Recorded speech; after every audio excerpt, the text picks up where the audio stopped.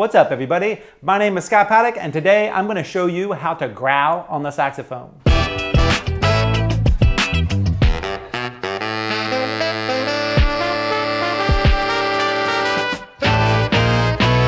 Growling on the saxophone is a raspy distortion sound that you can put on a note to make it sound a little bit dirtier and grittier.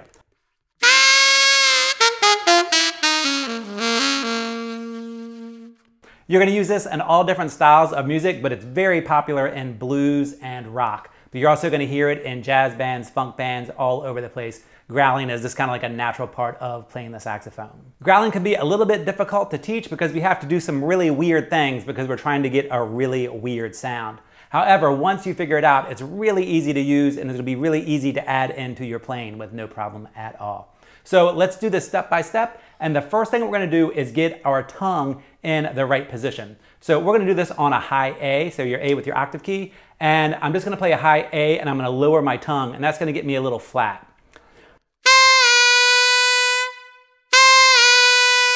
As you can hear, when I lower my tongue, the note goes a little flat, but you don't have to worry about it being flat when we actually growl. We're gonna do some things to get it closer to the pitch and because of the dissonance between the notes that are fighting each other, you're not gonna really have to worry about it being perfectly in tune. Now, what actually causes the growl sound is you have two different pitches that are very close to each other. One is in tune, one is slightly out of tune, and they're fighting with each other. That gives you the really raspy and growly sound.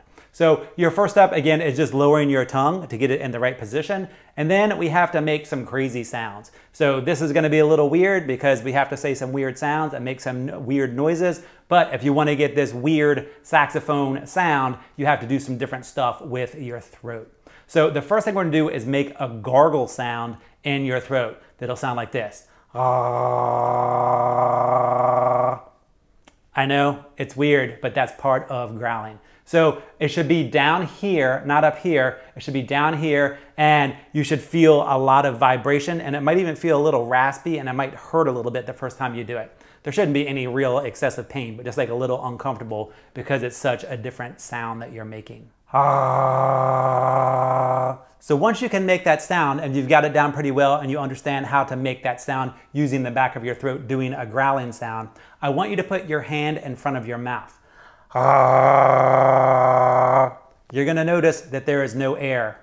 We're saxophone players and air is very important. So the next step we're gonna talk about is how to get the growling sound in your throat to happen while getting air to come out at the same time. And it's actually pretty easy. All you're gonna do is take the growl sound ah, and move up into a oo position. Say the word oo, and when you're growling, move up into a oo position and you'll feel that and you'll feel the air start to come out.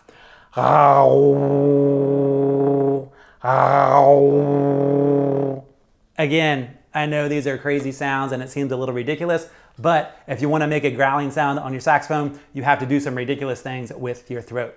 So once you had the raspy sound, the growly sound in your throat, and you moved up your tongue into the ooh position, you could feel the air coming out.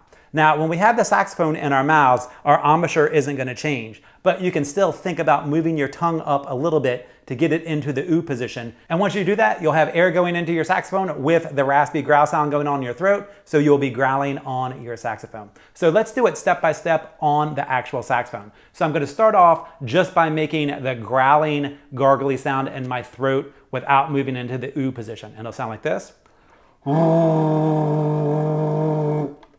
Again, I know it's crazy, but that is your first step into getting this growl sound that come out of your saxophone. So once you can do that, then you just want to keep moving up into the ooh position until the air starts and you'll start to hear a growl sound on your saxophone.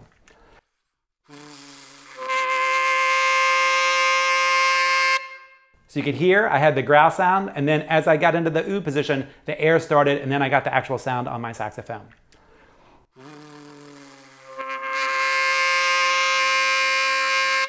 Now, once you're able to do the growl sound fairly consistently, you won't have to do all of the other stuff up front. You'll be able to start right on the growl.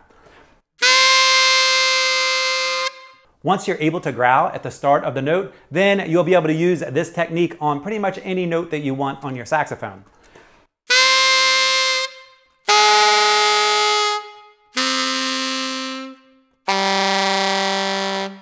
Now, the amount of growl or distortion that you're gonna get depends on how violently or how much you're using the gargle in your throat. The more you gargle, the stronger the growl sound is gonna be.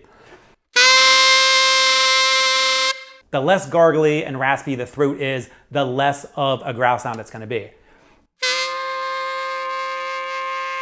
And then of course, how fast your air is moving into your saxophone, that is gonna be another variable in how much and how loud and strong your growl is. Now, some sax teachers recommend that when you growl that you hum. I think the gargle gives you a stronger growl and it gives you more control, but if you hum, that will work also. I've always done the gargly throat thing just because it gives me a way better sounding growl, a bigger sounding growl that I can control more. But if you want to do it while humming instead of actually gargling in your throat, that will work as well. So for a quick recap, your first step is you're gonna lower your tongue just to get it in the right position. Then you are gonna gargle in your throat. Ah, Then you're gonna move your embouchure into the oo position so that you get the air moving forward.